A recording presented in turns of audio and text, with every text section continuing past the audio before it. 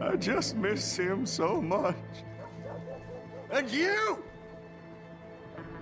You remind me of him. Oh, I didn't expect to see you back here again. Listen, I'm real sorry for what happened. I was lost in my own head. It was very wrong. I see that now. Hey, we've all kidnapped someone. We have? No, of course not. Oh, yes.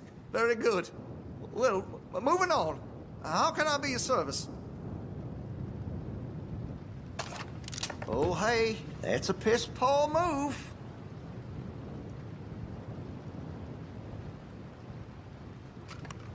Your blood'll take a while to clean, but that won't stop me from cutting you in half.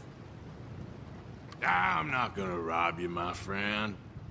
Good. Best you keep yourself in check.